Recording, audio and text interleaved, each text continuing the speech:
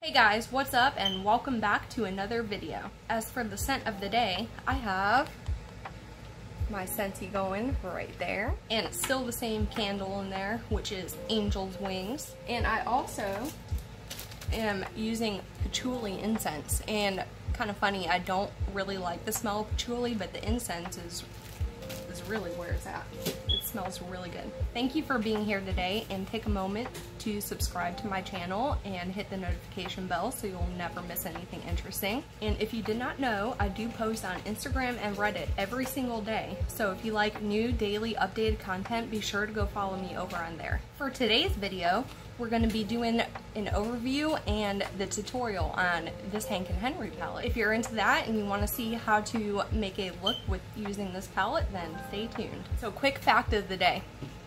If my face looks shiny to you, is because it is.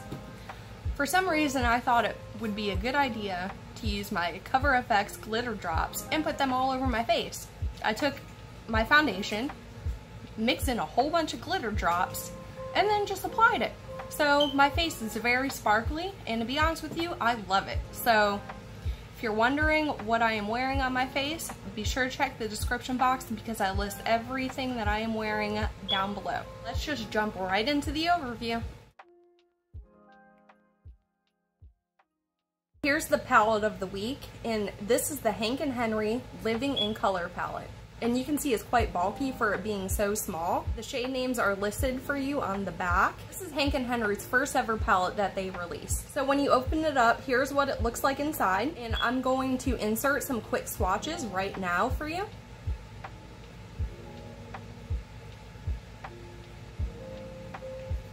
And as you can see, we have nine shadows in this palette. And in this palette, we have four mattes, one metallic, which is right here, and the other shimmer shadows are called finger foils, but they apply kind of like a topper shadow, so it's like a shimmer shade without a deep base pigment. Now the matte formula I had no trouble working with. It's a pretty decent matte formula. I did like it. The metallic formula, it's not very impressive. It's kind of exactly like the finger foil, so I don't really know why it's differentiated. And the finger foils are meant to be applied with your finger. So if you use a brush, it's a very quick way to be disappointed. This palette costs $25 and I will insert the amount per shadow right here. And according to my scale, that's on the affordable end. Palette is based on the late 90s and early 2000s MySpace era. And all these shades are made to be one swatch over your eyelids and you can wear one shade and be done with your look. Or you can create an artistic look with, you know, all the colors. That's just Hank and Henry's inspiration for creating this palette. Personally, I'm not really feeling this color story and after using it, I don't really care for this palette so much, so I would not recommend this palette. And after this tutorial, I am going to be decluttering this from my collection. If you have this palette, let me know how you feel about it and let me know your experience with it down in the comments below. Let's get right on into the tutorial. Alright guys, be honest with me here. You have to tell me, am I the only weirdo that keeps all these plastic sheets to keep on my palettes? I do it for every single palette. And if I don't have one, I feel like I'm missing out. I like I need to keep these. First step as always is prep work. So we're gonna get right on into Revlon Candid Concealer as our eyeshadow primer and just dot that all over the eye and oops I already have concealer on but in general you're gonna want to take it under the eye but um I just made a boo-boo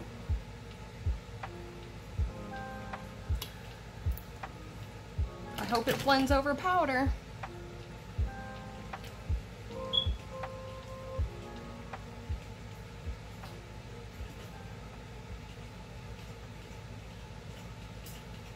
I think that's alright. Today's look is called a sharp outer corner and this will be my second time doing this look so I'm not really experienced with it, but it's really fun to do. And it's bold.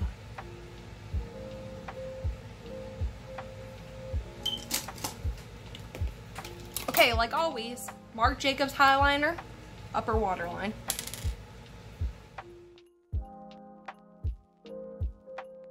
The first brush you want to grab is an eyeliner brush. So I'm gonna go dig mine out and I will be right back. What?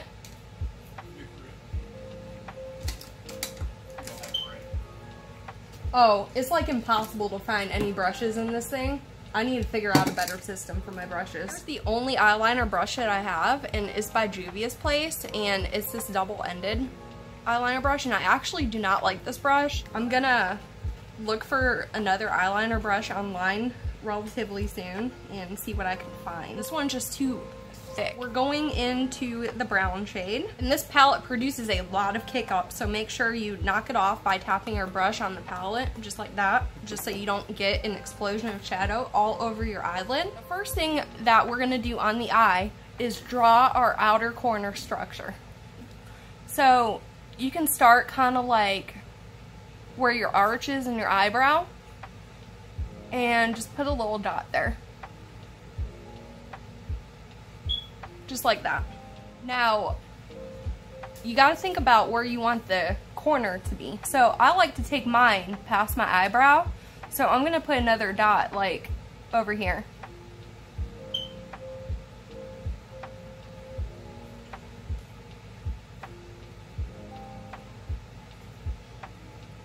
So see, I got two dots right there. Now, um, you're gonna want to take the shadow and put a dot on the corner of your under eye. Like that. And now we just play a game of connect the dots.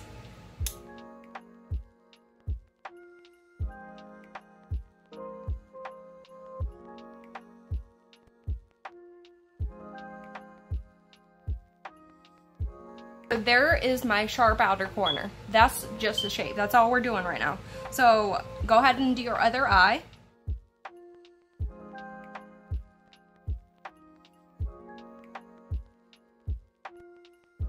There we have it. So now we're not done. We're still drawing the shape. So keep your eyeliner brush in hand and move into the middle burgundy shade. Now you want to take that from about a quarter inch from the inside of your eye and draw a dot right here.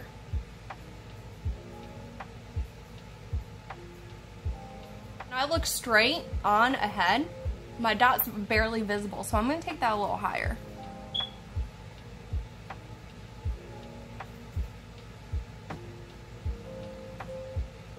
And again, you just want to connect this dot to the shape we already drew. The last shade that we're going into is the matte blue. And now this one's really powdery for some reason. Place a dot from your tear duct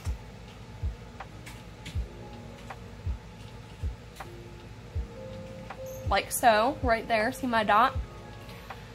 And we're gonna connect that dot to the line we just drew.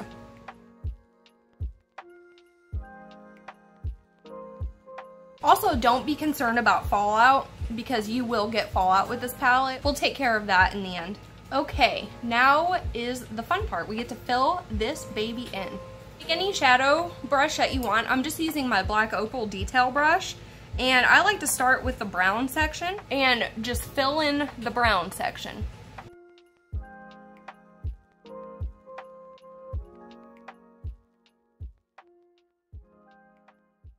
Now once you have the brown section filled in, move on to burgundy. And don't worry about blending anything in yet. Just put on the colors.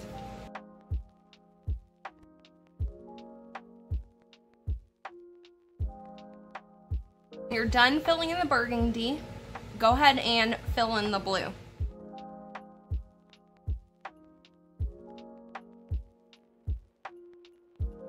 This is how we are looking right now. But now we have to do some blending. So let's start with the blue to burgundy. So take a little, mix a little bit of the blue and burgundy on your brush. Just dip into both shades. And in between the two shades, just soften that line with your brush.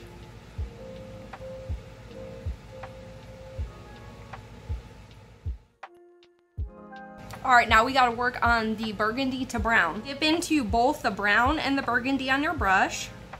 And again, soften the line in between both the shades. Now you wanna grab a fluffy brush, and I'm using the Jessup 244. And you want to make little teeny circles around this upper shape. We still want to be a bold structure line, but you just want to blur out a little bit of the edge.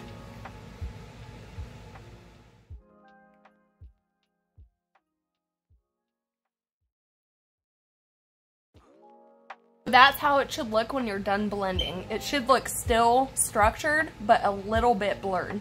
The next step is to go back into your eyeliner brush and go into that burnt orange shade and coat your brush with it. And what we're gonna do with this is we're going to gently outline the top of the shape with the orange.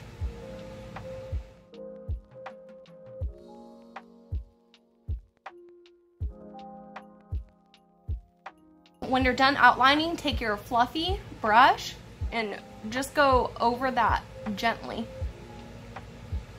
Just to soften it up slightly. But you don't want to blend it away. Next, take a flat shadow brush and go into the light teal shade. And we're gonna put that on the front half of our mobile lid. Has everybody been having a good weekend?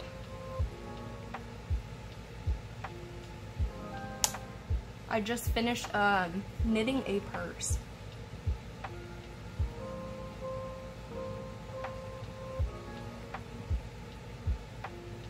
It was fun, but I never did it before, so there were a lot of hiccups.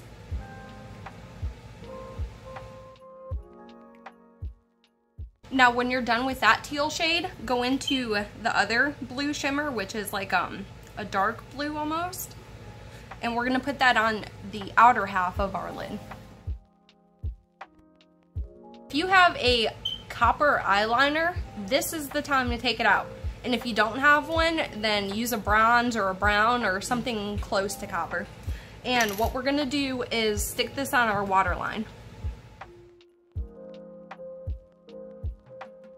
Before we start working on our lower lash line, you're gonna want to clean up the fallout. So I just like to use micellar water with a Q-tip and kind of saturate the tip of this and just dab it on the fallout.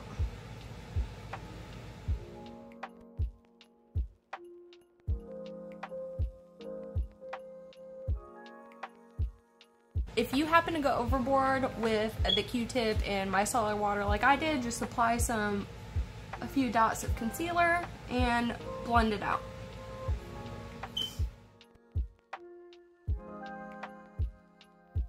For this next step, I like to take a small angled brush like this and we're going back into the brown. What we're gonna do is we're gonna go from mid-center of our eye and connect it to the top.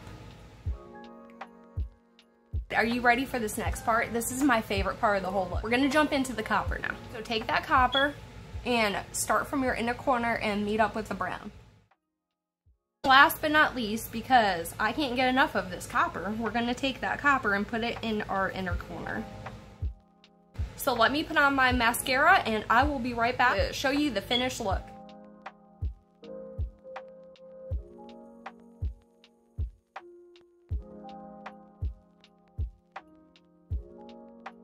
All right, so here it is. Here's the finished look with mascara added. And if you want to see it with lashes, I will link to the tutorial from Saturday down below in the link section. So be sure to check that out. And as always, if you have any recommendations for palettes that you do want to see tutorials and reviews on, please be sure to let me know by leaving me a comment below or messaging me. And that is all I have for you today. So if you like this video, please be sure to give it a big thumbs up. And if you didn't like this video, just give me a thumbs down. And until next time, bye!